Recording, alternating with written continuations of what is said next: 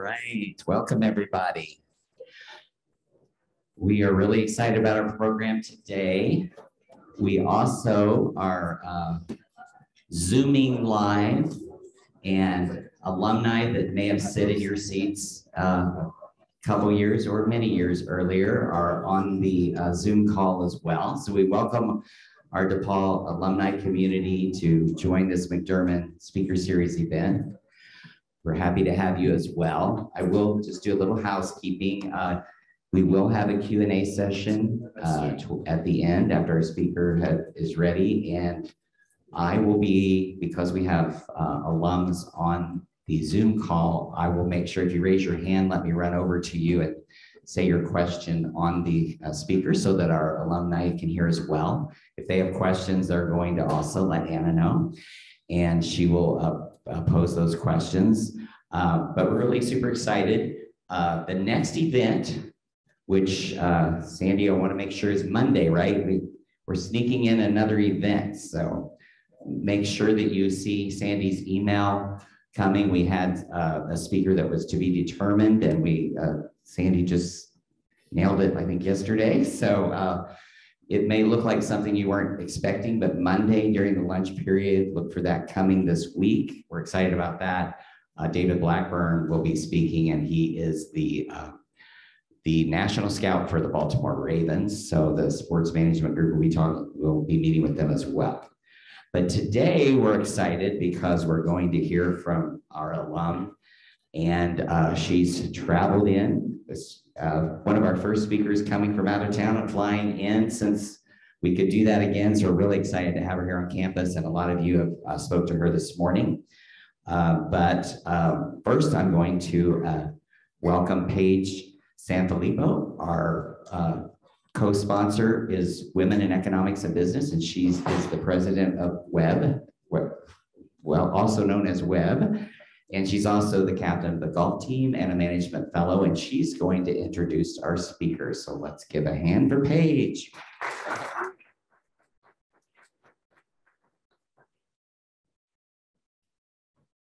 Thank you so much, Steve, for that introduction. Welcome, everyone. I'm so excited to have the opportunity to present Lora Chu.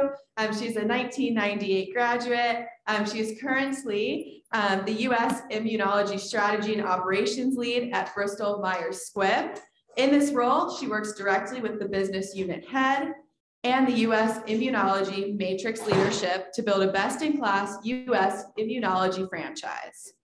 In addition to her day-to-day responsibilities, she's also the co-lead of BMS Pan Asian Network, which is a resource group and active as a member and sponsor for up-and-coming talent within the organization. Lora grew up in Greenfield, Indiana. While at DePauw, she served as the president of Kappa Alpha Theta, was a varsity cheerleader, a Rector Scholar, management fellow, and a member of Phi Beta Kappa. After graduation, as Steve mentioned, she moved to New York City and has recently made the move out to the suburbs in Princefield, New Jersey with her husband and two sons. So everyone, please welcome Lora.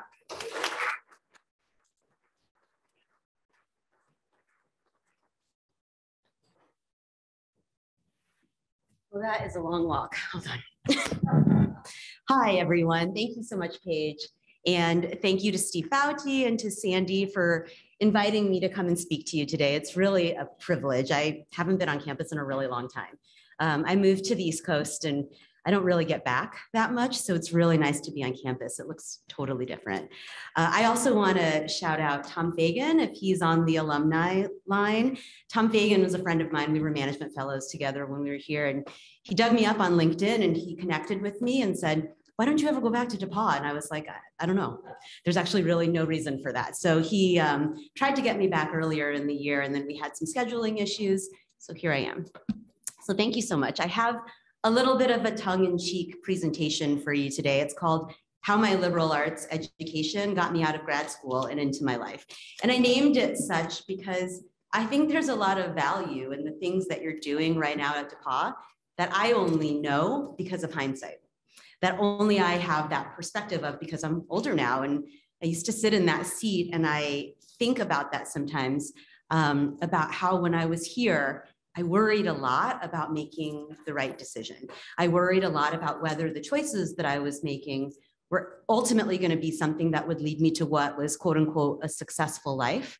Um, and I thought about that a good deal instead of kind of just enjoying what I was doing daily in my liberal arts education. So I want to talk a little bit about that today and how really the things that I learned at DePauw helped propel me from a person in my life who was really focused on performance and evolve into a person who was more focused on engagement with other people and then into a life that hopefully one day I can look back and say had impact, right? Like that I did something that was meaningful, that the things that I do were things that people um, resonate with or felt meaningful or were important to someone.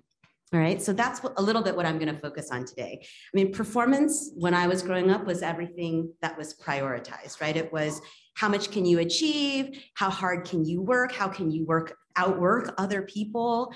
Um, you know, like how high are you going to stack those boxes, right? And then I got to DePauw and I realized there's a whole bunch of people out there who also want to stack boxes really high. And you have to think about what it means when you're around those people and how you're going to engage with them.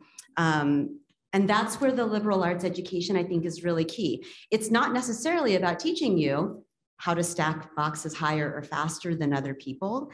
It's about giving you information that will help you be creative um, and stay curious, be really quick thinking so that you can make decisions, right? So you may not understand, but like when you go through Greek Rush, that's basically practicing for many interviews.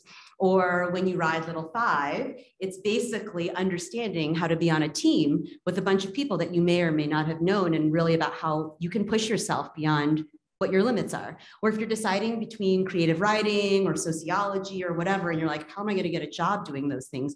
You will, because those are things that help you understand human behavior and how to communicate with other people. And that is really, for me, the crux of what a liberal arts education did. It kind of got me out of this silo of thinking about all the things I could achieve. And it helped me understand that I had a bunch of data that that data could help me with decision making. It helped me understand why people tick um, all those human behaviors, all those things that happen because you're a human being. And it helped me translate all of those things into what currently for me today is a really fun, interesting career. So we can talk more about that, but I'll tell you a little bit about how I got where I am today. All right, so I grew up in Greenfield, right? Um, and it's just east on 70 here. I took that drive today, except 70 has a lot of construction, so I just take 465 boring details. My parents immigrated here from Taiwan. Um, so they came to University of Illinois in the late 70s to do their PhD work. And my dad got a job right out of grad school at Eli Lilly. So that's how I got to Greenfield, which at the time in the late 70s, early 80s, basically made my house the Chinatown of Indiana. Like there were no other Asian people. Um, and even as I grew up, especially I think as I grew up in that time frame, there were there was a lot of bias. Um, some of it was racist, some of it was um, benign, but there were a lot of biases and a lot of microaggressions, things that I dealt with that I didn't quite understand until recently, how they've shaped me as I've been growing up. Once my mom and I were in Kroger, and this woman came up to me, uh, to both of us, and said, Excuse me, are you Spanish? And we were like, What? And she was like, Well, and she explained herself. She was like, like I basically know that you're not black, but I also know that you're not white. So I'm just asking, are you Spanish? Right. And I think it was like this moment where I thought to myself, man, I what what's happening right now? And I think for me, all it did was made me want to hide, right? Because when you're in the second grade, you're not trying to be a superstar. You just want to fit in. Like I have a second grader right now. He just wants to be included. He wants to make sure he got a Valentine from everyone. He gets to go to the birthday party. He just wants to fly under the radar and be included. Right. And I think maybe for all kids, that's what it is. You just don't want to be left out. And I think for my parents, it must have been really isolating at the time. But what that translated into then is that my brother and I always knew that no matter what, we were not going to fit in so we were going to be different.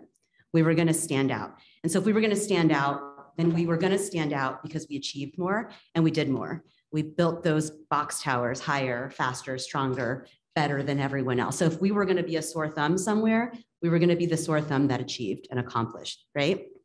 So what does that look like? So we had to get 100% on everything, right? We not only had to do our homework to an A plus status, my mom gave us homework like she was really, really intense. She got her own teacher's workbooks and like gave us homework. And then she gave us Chinese homework too. So we had to do all of that stuff until I was 18. At any given moment, we had to do everything that built our resume. So it was like, how much are you volunteering? How many extracurriculars were you doing? Everything was in service of what our reputation was. And from that reputation, how does that translate into your resume and into your transcript? And like, how is that going to propel you forward in your life? There was a lot of pressure in that, you know? And like the success was really largely defined for my parents as financial security, which is something neither of them had growing up um, and certainly didn't feel in the US as immigrants. Um, and I think maybe that was something that was really pounded into me growing up that financial success is the measure of achievement. And I don't know that I feel like that's true. I mean, I think those things don't have to be mutually exclusive. I think you can enjoy your life. Um, and I'll talk a little bit more about that. So, you know, I played um, piano and I was student council president and I was cheerleading captain and I was in drama club and I sang in three choirs. I was doing all the things that you're supposed to do, right? Check the box, check the box, check the box. And so it was time to go to college and I came to DePauw and that's what I did. I came to DePauw and I tried to outperform everybody. I was a Rector Scholar, I was a management fellow, I was varsity cheerleading captain, I was a Theta my freshman year, I was in Century Singers. Okay, yeah, that is Alan Hill.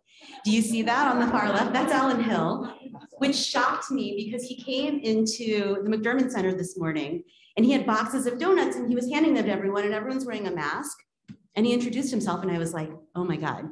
So at Old Gold one year, I won some kind of raffle and in that raffle, I got to change places with Alan Hill, who was Dean of Students for a day. So I was president of Theta.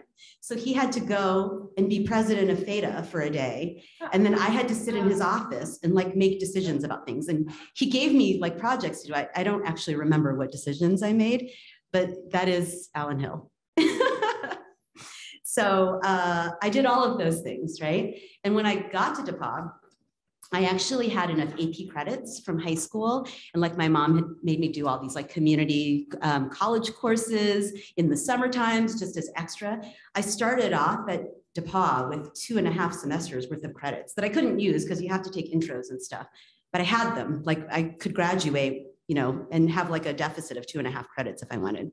Um, so I just like set forth and did all the things that I'd always thought that I was supposed to do which is achieve, perform, you know. Um, I made friends. I was in Longden on the first floor where we had our own bathroom. It was awesome. I don't know, maybe you guys all have your own bathrooms now. I have no idea. But at the time, it was totally novel. I dated a very nice Phi Psi. He took me to winter formal. He brought me flowers every week, right? Everything was on track. I did all the things. I met all the people. I did all the extra reading, right? So one day I was in one of my political science classes and my professor at the time gave us this kind of like bogus test. Um, the questions were about the syllabus and not about the content we had been discussing. Like legitimately, the questions were, what was on page 15 of my syllabus? And the point he was trying to make was you have to pay attention to everything I tell you to, but it was pretty much a BS test, right? And I panicked because I'd studied really hard and I'd always gotten straight A's.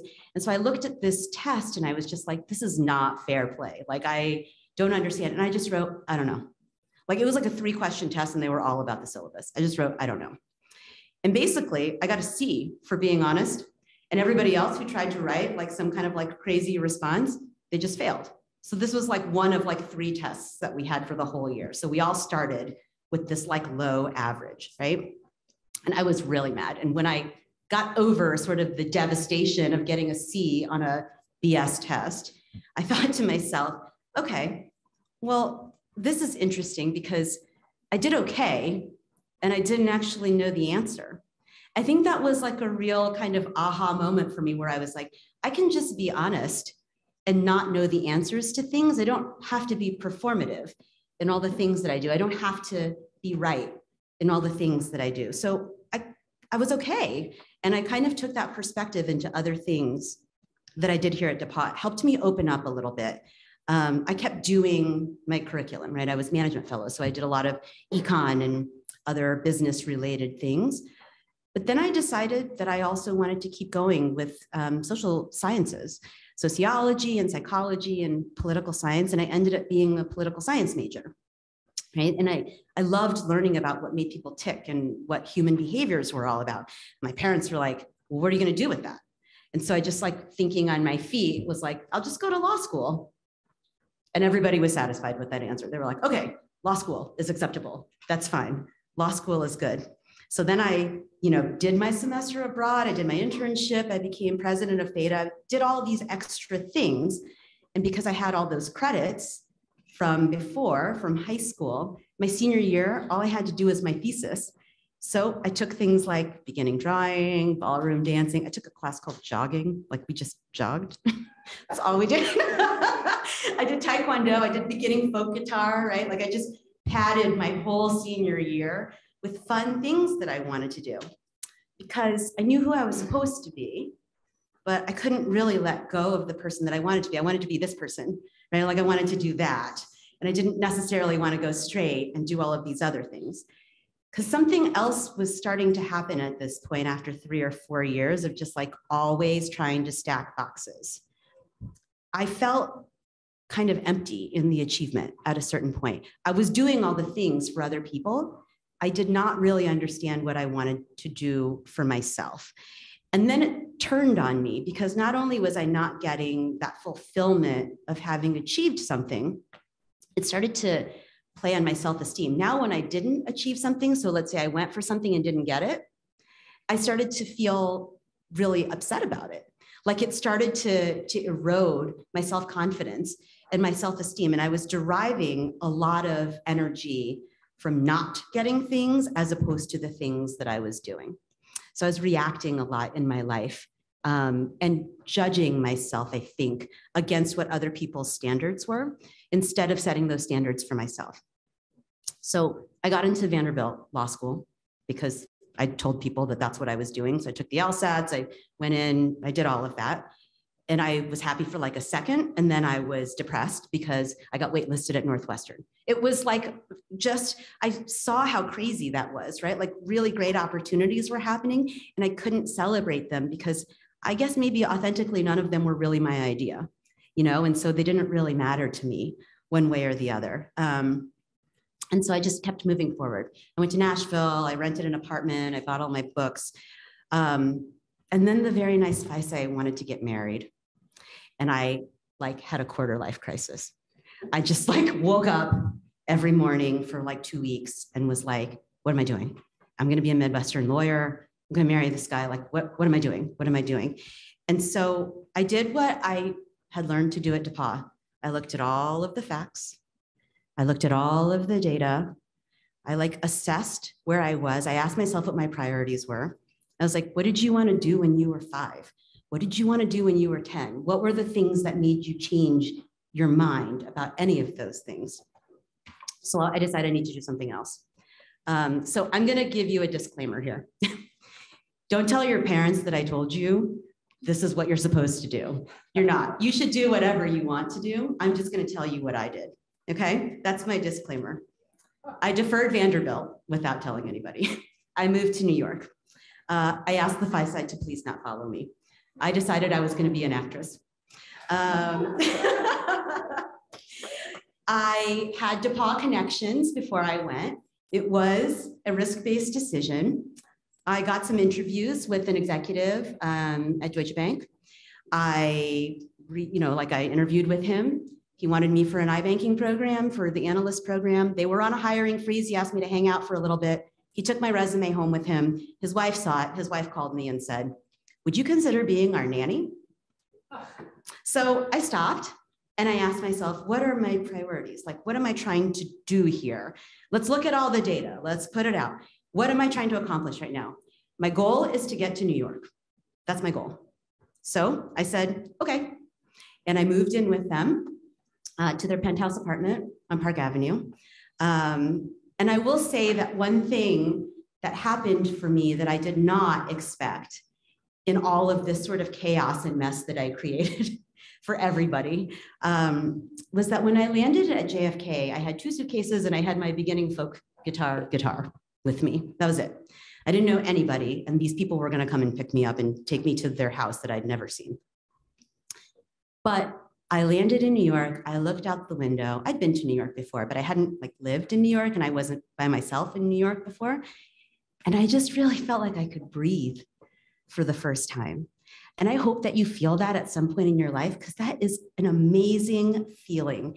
Just like I was like, right now in this moment, I'm the most best version of Lora that I'm ever going to be. Like, this is me. This is where I am. This is what I want to do. And I will make a million mistakes and it will be messy, but I love this. Like, I'm here. I'm here for this. I'm doing this. Right. So these people had two daughters. They were seven and 11. Like, I don't know about you. I started babysitting when I was 11. I certainly did not have a live in nanny. Uh, they went to like a fancy private school on the Upper East Side. I walked them to school. Um, and then I would pick them up after school and take them to activities. And during the day, if I got bored, um, they would hook me up. These people would hook me up with their hedge fund friends, and then I would like do like a little bit of a side hustle in finance for the hedge fund because I had those skills that I learned from DePauw, right? And when I got motivated, I took a picture, this picture, the black and white. My sorority sister took that on the front steps of Theta. She took it for a photography class. I just made it into a headshot. And I was like, I'm going to start to audition. This is what I came here to do. I have a place to live. People are paying me. I'm going to do that. And I did a million tiny student films. I did off, off, off, off, off Broadway. I did all that stuff. And then I started to make some money at it. And I started to be a little more able to support myself from some of these finance jobs. Um, so I left the penthouse because it is really crazy to live with very, very rich people. Um, I will just say that I have a nanny diary story if any of you have one on ones with me later. Um, and uh, I just wanted to, to live the life that I wanted to lead. But I, I wasn't really ready to just go fully into that. So I got a job at a dot com. There were a lot of dot coms just booming at the time. I got a job in a venture capital backed telecom company. I liked the people that I worked with. And the lesson that I learned about being honest was that I said to them, I'm also auditioning sometimes and trying to act. There will be times when I'm going to hop out and go to an audition. And you know what I learned? I learned that if you do the work and you have the reputation, so you have to do the performance piece. Like people have to know that you're good for the work. But when you do that, you can be honest and you can just kind of make up your own job as long as you get the work done. People don't care. They appreciate the honesty, right? You have to do the work though. Like the reputation has to precede you. You have to be honest about your intentions. They were really supportive. And I learned too that it's just as important um, what you say as much as how you say it. So uh, that to me was something that I was really learning at that time. Here's what I learned from auditioning. I learned that you don't always get things when you audition. I mean, this is no duh, right? Um, it's all about all the times you don't get a job. But what I learned about that is that it doesn't mean you're not good enough, right? Like it completely redefined what failure is for me. You don't fail, failure is always an option. You just weren't right for the job. That helped me kind of get out of my own head about the times when I wasn't able to achieve things. Sometimes it just doesn't break your way. That's the truth. You learn that in sports, you learn that in a lot of things. Some things hurt more than others. It's not always about you.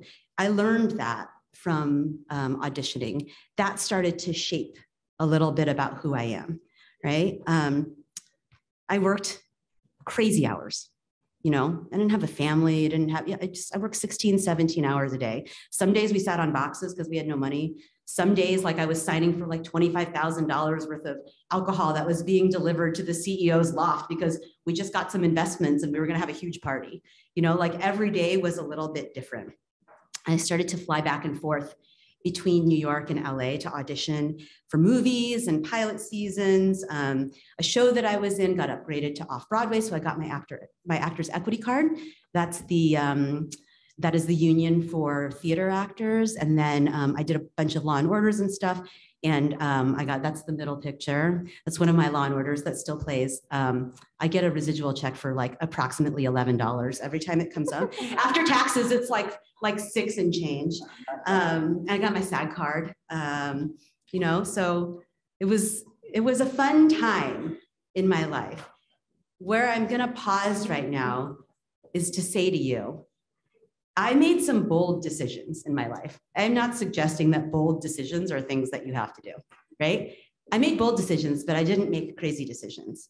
I took calculated risks. I looked at the data. I looked at what was available. I leaned into what was going to make me happy right? And these decisions that I started to make were now based on context. So it was like, oh, what's the scenario? What's the situation here? Um, the decisions I made were based on critical thinking, all of the data, as I'm saying to you, things that you're doing today here in school. Um, the decisions were based on my ability to be honest with myself about what I wanted and to be brave enough to stand up for the things that I wanted. And the more decisions that I made, the more experience I got. And the more experience I got, the more of a voice I developed. And the more of a voice I developed, the more of my voice I developed, right? And so this is the part about really being able to move or transition from a life that's based on performance to a life that's um, more firmly centered on engagement with other people. I will say that sometimes I don't really remember a lot of what I did before I was 25. And it wasn't because I was, you know, in a haze or anything. It's because I didn't make any decisions for myself, really, before I was 25. And I don't know if 25 is a magic number for whatever reason. It might be because I was in New York for a couple of years and just kind of like getting through and churning through all that. But for whatever it is, 25 is the age where I really start remembering things. Um, I remember the decisions I make. I remember that I stood up for myself starting then, right? And at 25 is when I started to find my tribe. So some of these people were people from before. The one on the right, the blonde, she's a sorority sister of mine um, from Theta. She's still my best friend to this day. Um, I moved to Brooklyn because that was part of what everybody was doing. Although I moved to Brooklyn before Brooklyn was Brooklyn. And I had this like tiny three bedroom apartment that I shared with my friends. We had two bathrooms and we had a washer and dryer, which is like unheard of in New York City. Everybody was very envious. Uh, I started to do more and more with the venture capital job. I met a guy at the company that I worked for. He was living in LA. I started to go to LA more. I was auditioning and working and spending time with him. Things were starting to hum because I was like awake I was paying attention with what was going on in my life for the first time. I was like really engaging with people because all my choices and my conversations were about things that I liked, right? Um, I got promoted. I started to lead a team of people. I worked through the integration of like nine mergers and acquisitions with this um, venture capital telecom company before I was 26. I got tons of work experience.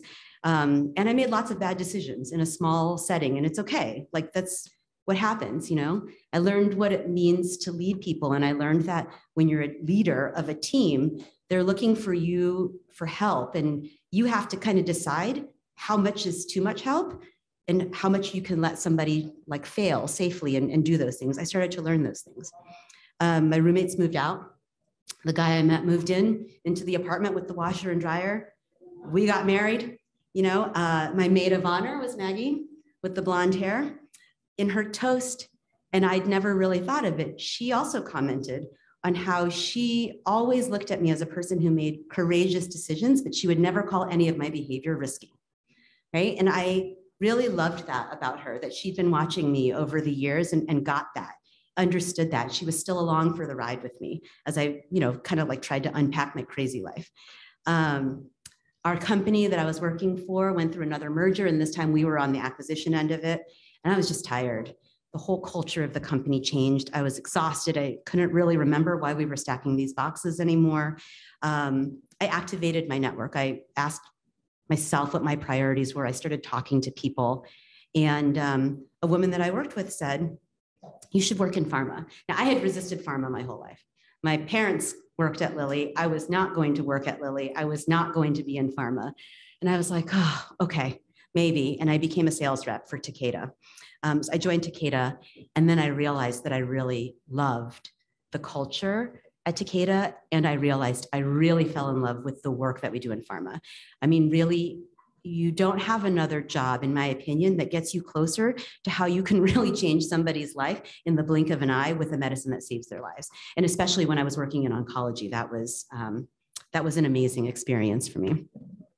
I was still a person though who was living two lives, right? Like, so I still auditioned a little bit. I still did movies. I still did voiceover work. Um, and I had to ask myself at a certain point, well, what are my priorities? Is this still what I want to do? Because I really still loved acting, but it's like two full time jobs to manage all of that, plus try to launch a professional career. And part of what I realized was what I was trying to accomplish with acting to some extent was to fill in that gap of that sort of high of all the things that you achieve and you feel really good about it. At least in that moment, that was the realization that I had. I still love acting, but I was looking for instant gratification in a moment where there were, so I was looking for junk food when I should have been eating like good food, right? Like healthy food. And the healthy food for me at that moment was to keep working on skills that were going to make me better from a personal and professional standpoint. So I left Takeda I joined Bristol Myers Squibb, where I am today, 10 years ago, um, because there were more career opportunities for me on the East Coast. So, um, you know, Chicago was where Takeda was then. Now they're in Boston, but there's still, you know, pharma all over the place. And at BMS, I could move really quickly because I could go in house. So I became a sales trainer in the oncology division. And because of my oncology experience, I was asked to help lead a launch of a new major oncology product when it came up. So that was awesome. And because I was in house, I started to meet a lot of people and my network was broadened and my experiences were broadened. Um, I learned more than I really ever thought I could doing a lot of little tiny like grunt work things, right? But you met a lot of people and you built your network out. And then I started to find that there were people within this organization who wanted to invest in me. So Third Taco on the right is um, one of the best managers that I've ever had. And he really sat me down and said, it's easy to be led in your career meaning like someone will want to promote you and then you'll get promoted to this other thing and then you can just keep doing that but you're going to get stuck at a certain point because you never actually chose any of the things that you did. You just did it because someone asked you to do it. That really resonated with me. This idea that you can make your own path if you spend the time to think about what it is that you want um, so he helped me. He helped me understand what jobs are available. He helped me understand what a well rounded career looks like. He helped me understand that I can do whatever I want to do and I can just make it up as I go along if I want to. Right. And so this became my priority. Um, I was commuting from Brooklyn to Princeton every day. It's like an hour and change each way. Um, but really, I don't, you don't have tolls as much in Indiana. It was like $25 in tolls a day. It was crazy. So as a result, my husband and I decided that we were going to make the decision to move out of New York. I mean, at that point, I had two little kids. Um, my little guy was sleeping in a pack and play in our living room because that's Brooklyn living. You know, we had a thousand square feet in one bathroom, four of us. Um, and so we decided that for our family, we were going to move to Princeton. And when I got there and I was closer to work and my kids could have like a normal, like go to after school things and sports and stuff kind of life instead of being on a commute with me all day. Um, that's when I started to realize that these things that I was prioritizing, all the things that I was doing, I was having impact um, on them right? And like the decisions that I was making were no longer just for me anymore. They were decisions that I was making for other people, for my family. So impact was something that started to become really important to me at that point. And the move was a big decision we made as a family so that we could increase the impact that we had in general. For me at work, um, with our kids so that they could have a life with like a yard and stuff. You know, my older son, when we bought the house, asked me if the house came with a parking spot.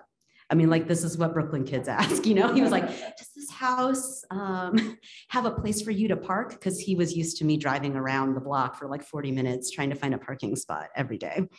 Um, so I realized that uh, the quality of life that we were going to have was going to be much better. I was going to be able to be more focused and not so crazy running around all the time.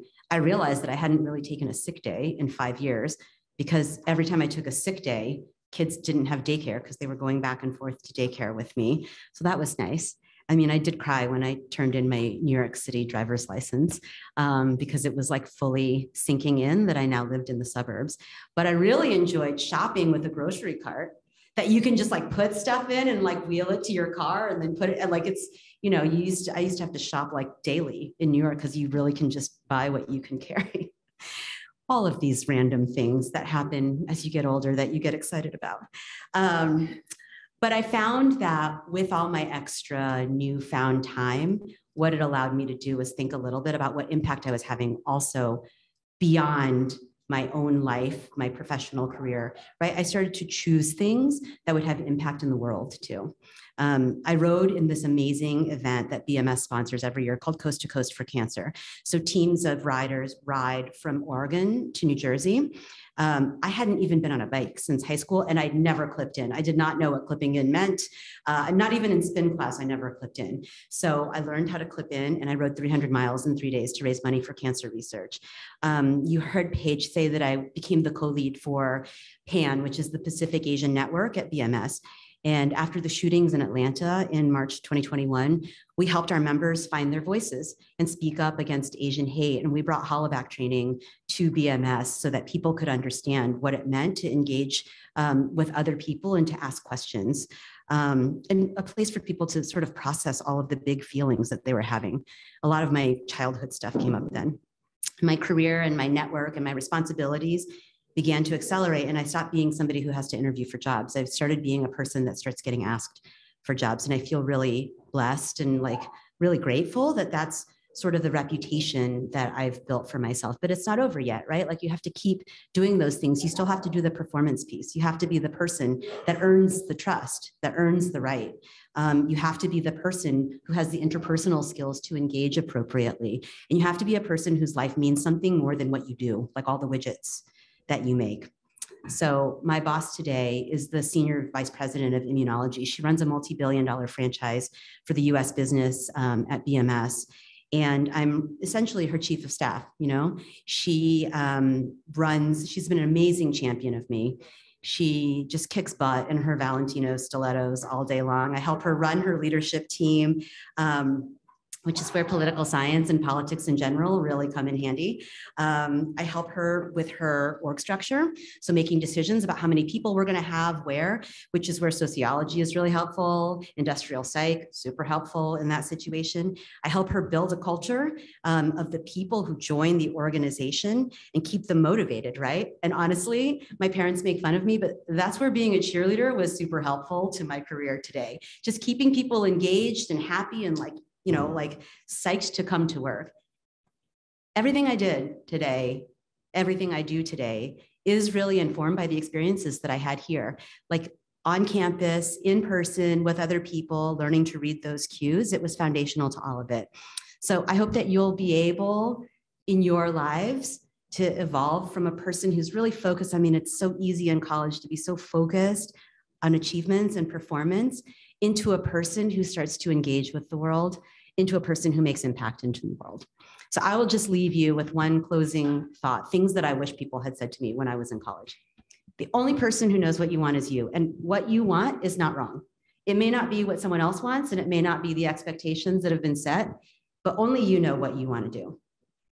That you should be nice. There's no point in doing what you want if you're going to leave a wake of bodies behind you, right?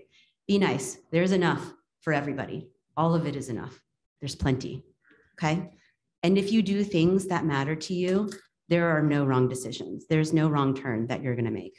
You're going to learn from it all and you're going to move forward with all of it. I hope that was helpful.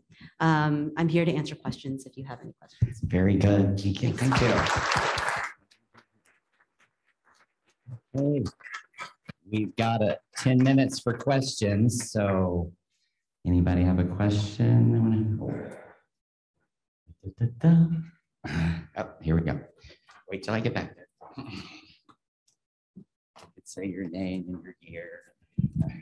Hi, Lora. I'm Allison Harvey. I'm a senior. Uh, thank you so much for talking with us today. My question for you is how do you kind of bring that motivational aspect into your everyday life at work? Thank and you. like bringing, sorry, bringing others along with you, I would say. Yeah, oh, thanks, Allison, for the question. Um, you know, I think I'm just an optimist by nature. I think I, I'm a glass half full kind of person. I think the energy that you bring comes from whether or not you believe in what you're doing, right? It's really easy to be jaded. It's really easy um, to say, oh, this isn't working. I think some things that help propel and that other people see is when you try to be solution oriented. And I think when you reward intelligent failure, meaning that it's not the worst thing in the world if something that you try doesn't work. You know, I, I, think giving people the space and the permission to feel that and to understand that all of those things are like failing upward, that I think is really important too. If you can set a culture in that way, then people will want to continue to work with you because it's not a drag, you know? Does that answer your question? Yeah, thank you so much. Yep.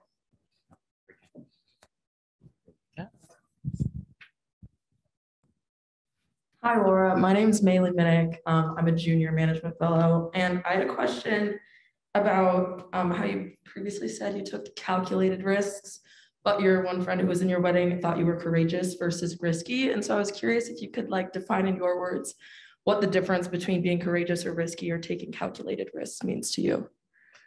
Thank you, Maylee. Um, I don't know if I know what a good answer is to that, right? I think courageous or courage for me is being true to yourself. So if there is a, a truth about you that you know, it's internalized. You just really have to be quiet enough to hear it. I mean, that stuff exists in you. It's ancient, you know, it's like in you. Um, the courage to do something that someone else didn't plan for you or to go off track a little bit to explore what that truth is for you, I think, for me, is what courage is calculated risks are how do you get there without blowing it all up? Right? Like, what are the things that you can do? So I'll give you an example. I had tons of friends that like were wait with like waiters and waitresses and bartenders. That was just never going to be the thing that I could do. I was going to have too much anxiety figuring out if I could pay for my life and also do this other thing at the same time. And I needed space and time. I had another set of skills.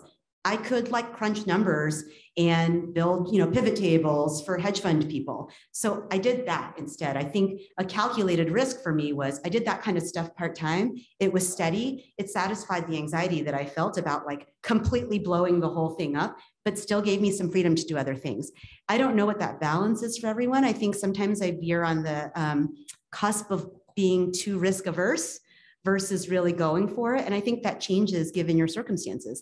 I can't do crazy stuff as much anymore. I have these little kids that I have to pay for too and keep alive, you know? So, like, that is for me where the calculation of the risk changes based on what your context is. But the courage comes from continually evaluating for yourself if you're happy in what you're doing.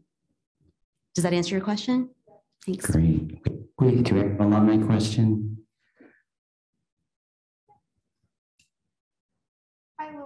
No. Oh, hi, Lora. Um, this question is actually from me. Um, Anna Wachowski, class of 2019. Um, how did you stop placing your self-value in the praise and approval of others, especially your parents? Oh, man. Well, I mean, let me call my therapist and we can talk about that. Um, it's really hard, right? Because you grow up and there's this set of rules that someone else has made. And it's all with good intent. It is because that's how their blueprint was, or that's what they aspired for their blueprint to be. And like all you want to do is make sure that a person can make it in the world based on whatever your defined success is. But really, like what is success other than a person feeling personally fulfilled? Um, and it means different things for other people. So, like, do I think my parents are successful? I do because they did what made them feel personally fulfilled. How did I break out of that? At some point, you just have to grow up, right? Like, at some point, you just have to say to yourself, okay, so I did this and it's still not the blueprint that I want. I, I, I need to try something else really it's like this itch isn't going to get scratched any other way than if I try this, right? And here's the thing my parents supported and loved me throughout all of it. Were they disappointed? And did my mom constantly call me and ask me when I was going to grad school? She did. Um, and you manage that because you are being true to the thing that you have to do. So, um, how do you manage the disappointment? I, you know, I don't know. I think maybe when it stops being, if it's not disappointing to you, who cares? Right? You're not hurting anybody. You don't have to apologize for wanting to do things in your life. You're managing a set of expectations that you didn't even create. So the interpersonal skills and where you're learning to communicate with people, I think there are ways to articulate that um, where you can do that without a lot of damage. Does that answer your question?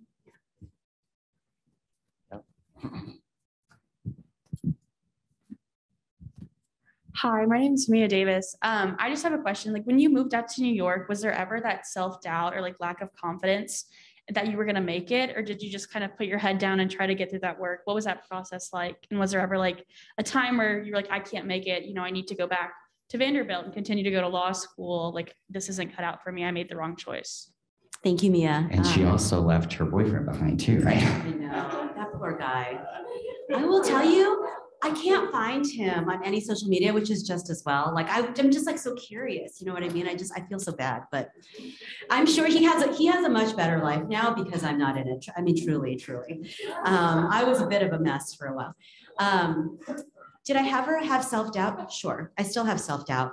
Um, did I ever say I'm gonna move back? No. I got there and I was like, I'm here and I'm going to do what I need to do. There is a piece, it's interesting what you ask because there was not self doubt that I was going to make it.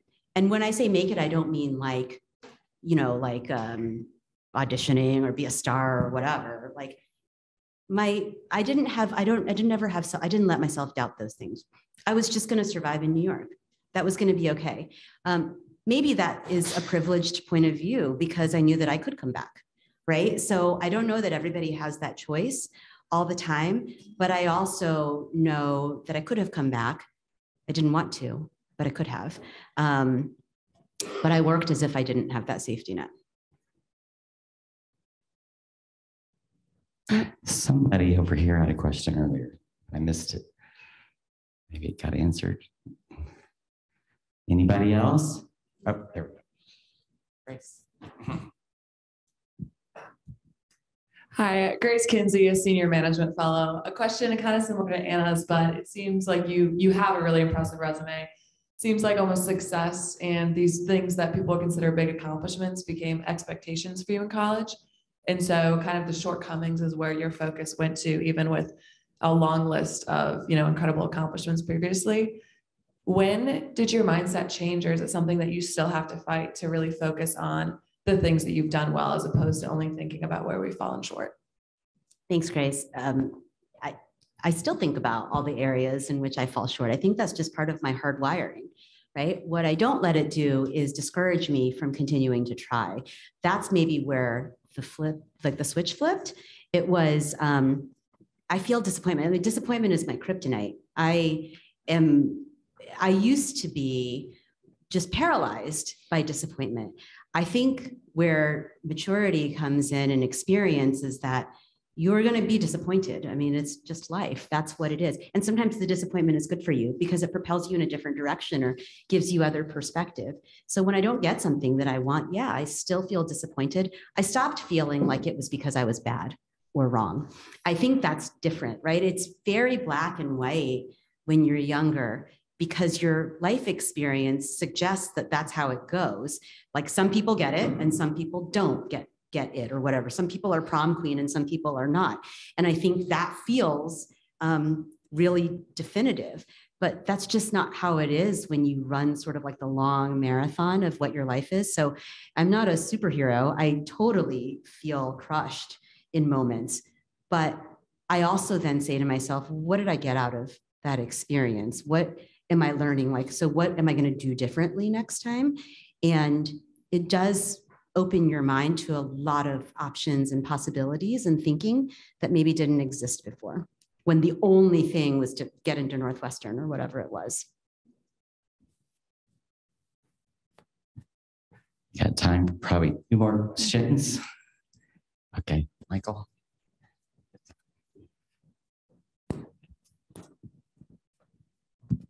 Hello there, my name is Michael. And uh, my question for you is, uh, you mentioned about several turning points in your life, in your career. And I was wondering what was, what would you consider as the toughest decision you have ever made? The toughest decision I've made in my career Yes. or in my life. Or you can talk about both if you want. Well, I mean, the toughest decision I made in my life was to just say peace and move to New York. I mean, that was really very, very um, it was heart wrenching. I call it a quarter life crisis because I did feel like I was being pushed up this hill and I was resisting it at every moment. That's a really tough thing to do when you're 21, 22 years old. You know, also because you have no money, everything is financed by other things. Um, your decisions have consequences, right? And so you, there's a little bit of, of collateral damage that comes with making a decision like that. You need support uh, in order to make that decision. You need a lot of courage to be able to stand up for yourself that way.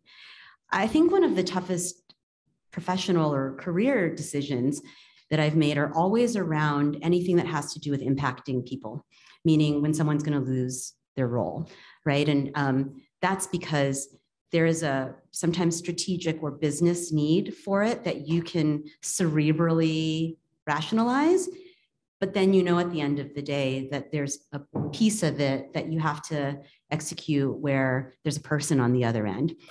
A couple of examples of this that I think about are when the person's not the right fit for the role. And maybe part of what I'm explaining to you guys here is that that's not a failure that's information that you have if you're the person on that receiving end that that wasn't the right job for you you know like that you should try something else. Like maybe you were just heads down into ibanking and it was terrible but you were like this is what i'm doing because i'm going to do this this and this right? And maybe they had to downsize for whatever reason. It's not personal. It's an opportunity. Um, i think about that and i try to do those things then when you have to make those decisions with as much dignity and as much grace as, as you can offer because we're human beings at the end of the day. That's impact. Like you can do that in a kind way without destroying somebody when you can help them. So those are like the toughest decisions are the ones that have actual people impact at the other end of it. Um, and hopefully, you know, those things are, are done with, with grace. Thanks, Michael. Wonderful. Well, that is time. Let's give Lora a wonderful applause. Thank you so much.